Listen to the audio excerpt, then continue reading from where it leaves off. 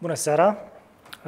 După cum am prezentat la începutul ședinței de guvern, am, în cadrul ședinței am prezentat pentru o primă lectură ordonanța de urgență care privește mai multe măsuri fiscal-bugetare și modifică unele acte normative.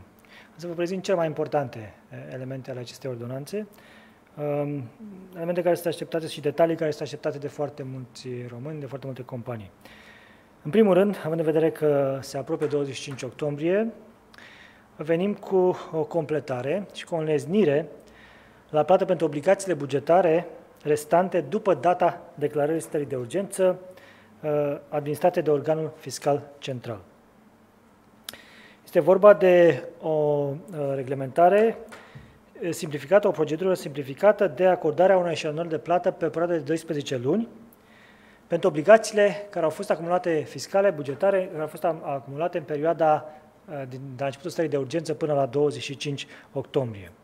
Foarte important, beneficiarii acestei facilități sunt toți contribuabilii, indiferent de forma de proprietate, inclusiv cei care au în derulare o înleznire la plată potrivit codului de procedură fiscală și care nu înregistrează obligații fiscale, foarte important acest lucru, restante la data declarării stării de urgență.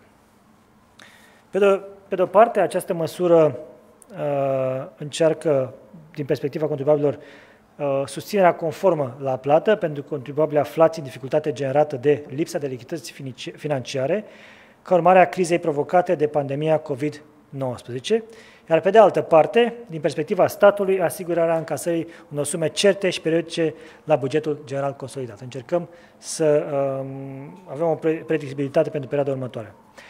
Am să vă spun acum condițiile uh, pentru a beneficia de această eșalonare. Contribuabilul trebuie să depună o cerere până la data de 15 decembrie 2020 inclusiv. La cerere, debitorul poate anexa graficul de eșalonare cuprinzând cuantumul propus al ratelor de eșalonare. Să nu registreze obligații bugetare restante la data declarării stării de urgență, să nu se afle în procedură de insolvență și aici, pentru companiile care sunt în procedură de insolvență, dar care și-au plătit ratele, deci nu au avut restanțe, vom veni cu o reglementare separată.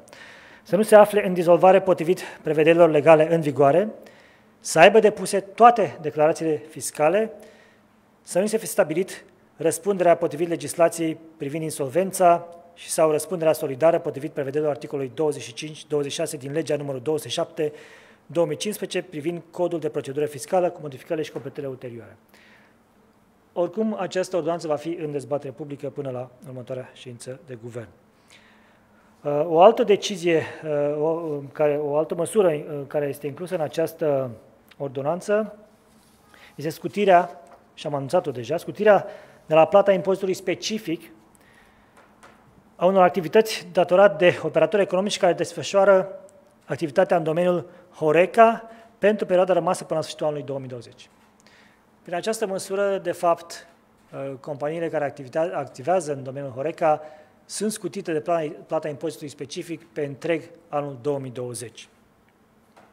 Uh, o a treia măsură importantă și este legată direct de uh, această perioadă prin care trecem, este nevoie de o reglementare uh, care se aplice, a regimului fiscal, care se aplice cheltuielilor efectate uh, de companii în perioada instituirii stării de urgență și a stării de alertă, uh, cheltuieli cu testele COVID, uh, cu teste de diagnosticare a infecției COVID. Sunt suportate astăzi de angajatori pentru persoanele fizice. Reglementarea pe care o propunem uh, introduce în sensul, în, uh, în codul fiscal, categoria de venituri din salarii și asimilate salariilor neimpozabile și care nu sunt cuprinse în baza lunară de calcul a contribuțiilor sociale, avantajul reprezentând contravaloarea cheltuielor suportate de angajator plătitor efectuarea testelor medicale de diagnosticare a infecției COVID-19 la inițiativa angajatorului pentru persoane fizice care realizează venituri din salarii și asimilate salariilor.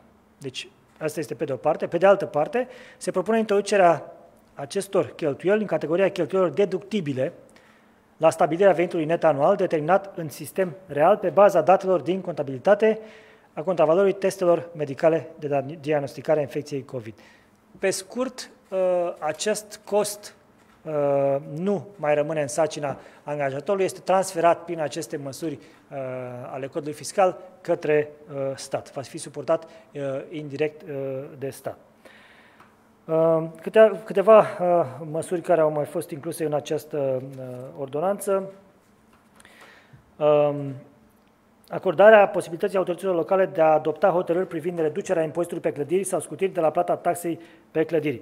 Aici știți foarte bine că era termenul era deja a fost a fost a trecut, a fost în 30 septembrie, dar pentru acordarea posibilității pentru acordarea acestor facilități Uh, se stabilește acum termen de 2 decembrie 2020 până la care autoritățile publice locale pot adopta aceste hotărâri privind reducerea impozitului anual pe clădiri cu până la 50% și scutiri de la plata taxei lunare pe clădiri.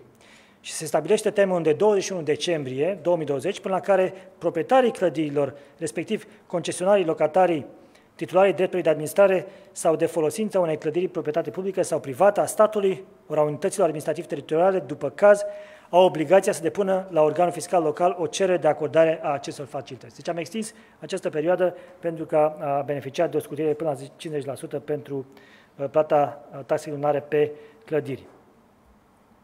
Și bineînțeles, este încă o facilitate uh, acordată pentru pregătirea și organizarea și desfășurarea turneului final al campionatului european de fotbal din 2020, amânat ca urmare a pandemiei. Aici detaliile sunt exact cele pe care le-am spus.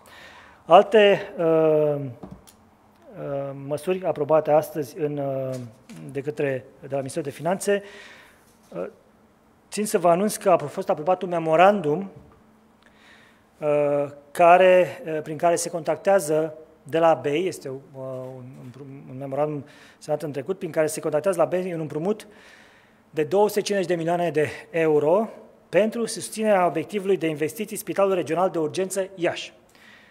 Valoarea totală a investiției este de 500 de milioane de euro. Proiectul este susținut jumătate din fonduri europene, jumătate din uh, bani la buget. Acest împrumut are rolul de a uh, susține investiția până uh, uh, uh, luăm banii din uh, fonduri europene, ca să nu mai întârziem, să începem uh, construcția acestui uh, acestui obiectiv. Uh, implementarea, implementarea acestui obiectiv va fi asigurată de Ministerul uh, Sănătății. Ieri uh, am, am început încă un proiect pe care l-am aprobat anul acesta, o schemă de ajutor de stat, este vorba de IMM pentru companiile uh, mari. Uh, toate detaliile acestui proiect se găsesc pe site-ul uh, Exim Bank, uh, pe site-ul uh, băncii uh, Exim. Uh, acolo veți vedea uh, și companiile și cum se calificați, cine are uh, dreptul, dar totul este acum live, deci este încă o măsură pe care am implementat-o din cele pe care am prezentat de cursul acestui an. Și un ultim lucru, o veste foarte bună care vine de la Comisia Europeană. Comisia Europeană a transmis statelor membre o nouă propunere de modificare și prelungire a cadrului temporar ce înseamnă acest lucru? Înseamnă că măsurile pe care le-am luat în acest an, IMM Invest, IMM pentru companii mari, uh, toate schemele de garanții uh, pot fi prelungite și în 2021.